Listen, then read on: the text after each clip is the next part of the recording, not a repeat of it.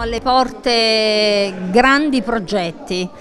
a cominciare dall'autonomia di questo ospedale, che sarà fondamentale per farlo diventare un ospedale sempre più centrale e strategico all'interno dell'ASL Napoli 3 Sud. L'ospedale Maresca di Torre del Greco diventa presidio autonomo di pronto soccorso. L'aveva già annunciato ai microfoni di TV City la vicepresidente del Consiglio regionale Loredana Raia in occasione dell'inaugurazione dell'ambulatorio per la prevenzione del melanoma nei giorni scorsi. Con la delibera 890 del 22 settembre dell'ASL Napoli 3 Sud, il nosocomio di Torre del Greco riavrà dunque piena autonomia, come previsto dal piano ospedaliero regionale. Questo risultato è frutto di una piena sintonia tra la direzione strategica dell'ASL Napoli 3 Sud e il governo regionale, spiega Raia. A partire da questo, insieme ai lavori che cominceranno a breve, purtroppo la burocrazia la fa da padrone in questi casi, ma il progetto è pronto, è esecutivo e quindi devono essere solo avviati i lavori,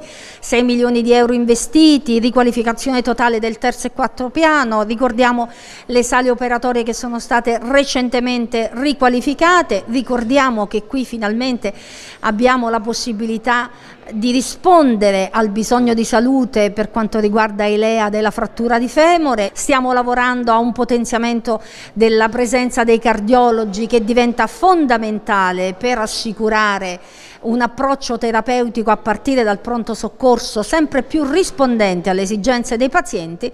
Abbiamo fatto nostre le battaglie degli operatori sanitari, dei sindacati, delle associazioni e soprattutto dei cittadini, lavorando in questi sei anni con costanza ed impegno, in sordina, ma con grande tenacia, per il rilancio e il potenziamento del Maresca. Continuiamo ad andare avanti perché crediamo fortemente, anche in un'epoca che speriamo di considerare presto, post-pandemica, l'offerta sanitaria pubblica deve essere sempre di più all'altezza di rispondere al bisogno di salute dei pazienti.